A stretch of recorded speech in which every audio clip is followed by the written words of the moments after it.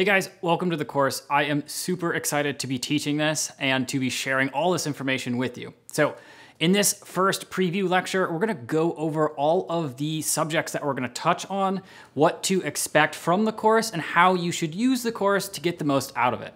After we go over the topics that we're gonna cover, then we're gonna cover course format. That's where we're gonna talk about how the course works, how you should follow it, what sections you should focus on first. So let's just go section by section. I'll tell you what we're gonna go over and tell you what to expect. So now the first section is actually targeted towards people who are still on the fence about starting a mobile app development business. So that section is gonna focus on bigger contextual understanding. We're gonna cover things that would motivate you to get into the game sooner and teach you what you should expect. So in the first section, we're gonna cover things like seven of my favorite reasons why you should start a mobile app development company. We're gonna cover my story here at SprintKick, and I'm gonna let you in on the trials and tribulations of everything that I went through to get it from where it was four years ago to where it is today. Today, we've created over 40 full-sized professional mobile applications, and I'm gonna show you everything we learned and everything that we stumbled over. Now, section two is where we're officially going to start. We're gonna cover some things that help you understand how mobile ecosystems work, give you some basic knowledge that you're gonna need to be successful, and we're gonna prime you to understand what business decisions you're gonna have to make and how you should strategize um, and position yourself to capture the most clients. In section two, we're gonna cover a lot of options. We're gonna talk about different ways that mobile studios have developed themselves um, and what are the options and the paths that you can take. We're gonna talk about things like the startup timeline. How do mobile app businesses start? What do they look like? What do they look like when they're finally growing? And what does the in destination look like? I'm gonna try to impart you with some knowledge that will help you go through the good times and the bad times. We're gonna cover some broad technical details to help you understand how iOS and Android applications are made. We're gonna talk about generally how do production cycles work with mobile app studios. We're even gonna cover how you should tackle this if you are a programmer and how you should tackle this if you're actually not. In section three, we're gonna start talking about strategy. What's the best strategy that makes you the most money? What's the best strategy that's tailored to you and what you wanna get out of this business? We're gonna talk about subcontracting strategies. How do you design one? How do you execute it? How do you decide if you even want one? We're gonna talk about things like do you specialize or do you generalize? We're gonna talk about picking niches, whether or not that's something that's gonna suit you, um, and whether or not it's something that you should pursue. We're gonna talk about things like the dilemma of good, fast, and cheap, and other dynamics that you need to understand to be successful in your business. Now, in section four, we're actually gonna dive in and start getting our hands dirty. We're gonna start covering how you can get the best possible web presence up for as little as $19. So in that section, we're gonna cover how to present yourself the best online, how to build a web presence that impresses your clients and entices them to contact you. And we're gonna focus on cheap and easy ways to get off the ground sooner rather than later. We're gonna take an in-depth look at some of the other popular mobile studios and we're gonna try to break down what they're doing right and what they're doing wrong. We're gonna try to figure out what lessons we can learn from that and what we can impart on your business. At the very end of it, we're gonna talk about some cool strategies for getting better design done, um, for upping your web presence, and how to do that very, very cheaply. In that section, we're even gonna talk about picking the right name, what it says about you, and how you should go about picking it. So in section five, we're gonna start talking about building a subcontracting strategy. A subcontracting strategy is going to be essential for you if you wanna expand your business, but also be able to take on clients as soon as possible. We're gonna cover the big three platforms for finding freelancers, Upwork, Elance, and Freelancer.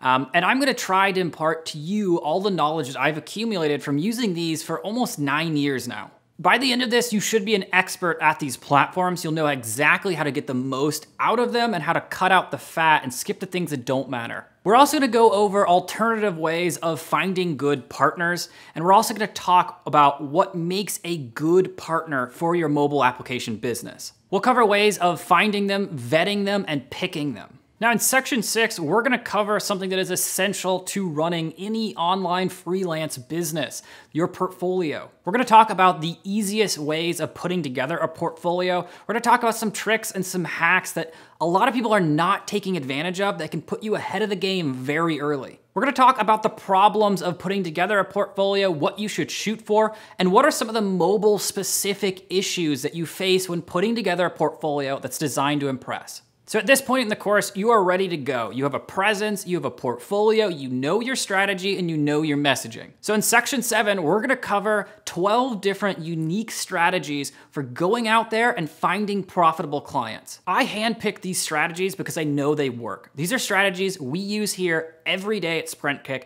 to bring in more and more clients. Some of these strategies are the basics that you've heard before, and some of these are really unique strategies that no one else will tell you. In each lecture, we're gonna dive into and I'm gonna show you how you can do it, not just talk generally, how you can execute on it. Now, in section eight, we're gonna cover another part of the process that is essential. Now that you've found clients, how do you lock them in and how do you start getting paid for your work? So section eight covers proposals, how you should go about building a proposal, what should go in it, what should not go in it, and what does each element of a proposal say about you that you're not even thinking about. We're gonna cover some cool ways of getting them done cheaply and easily, and then we're gonna cover some cool tools for upping your game and making your proposals really, really slick.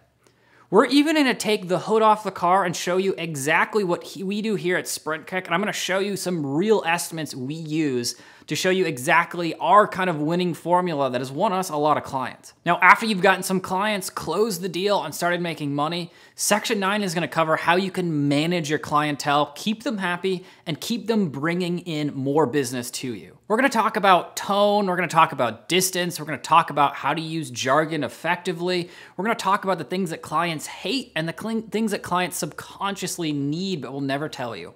The point of this section is to teach you how to keep your clients happy, but more importantly, keep you happy at the same time. It's gonna give you perspective on how to pick the clients that are gonna help you grow, but also help you be happy with your business. Now in section 10, I'm gonna pull together a ton of information on best practices for running your mobile business. We're gonna cover everything you need to know to go from an amateur to an expert in running a mobile app business. We're gonna cover things like what is agile development, how important are budgets, how you can sniff out budgets before the client even tells you. We're gonna talk about things like how to price yourself efficiently and how to optimize your price over time.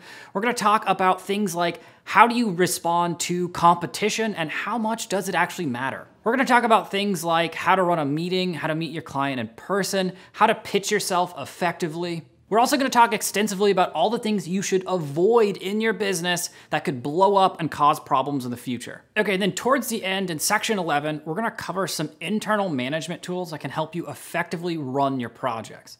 We're gonna cover Asana, Trello, and Google Docs, and I'm gonna show you how you can effectively integrate this into your process flow and dramatically increase your project success. I'm gonna show you specific ways that you can use these tools not only as an internal management tool, but also as a way to keep clients in the loop and show them your progress. Then at the very end, we just have a lot of free resources. There's a lot of contracts that you can use that are designed for you to just pick them up and insert your information. Those are contracts that I spent a lot of money on, but for you, they're completely free and you shouldn't have to worry about it. Okay, quickly, the course format. It's really quite simple. All of the course lectures are divided between talking heads, like I'm doing right now, and then uh, screencasts. In general, I suggest that you follow the course in a linear fashion, as in one lecture after the other, one section after the other. It's really up to you. You can hop around if you want to. If you start a lecture and you think that you already know the information, totally fine to just skip towards the end. At the end of every section, I have PowerPoints that are attached that are summaries, so you can always check it over to see if you missed anything. Some lectures are designed to be for the beginner, and some of them are going to be more advanced. But to make it easy, at the very beginning of all the lectures, I'll let you know if this is something for beginners, and you should skip it if you're someone who knows a little bit about this to begin with. Okay, I hope you're excited to start the course. I am too. I'll see you in the next lecture.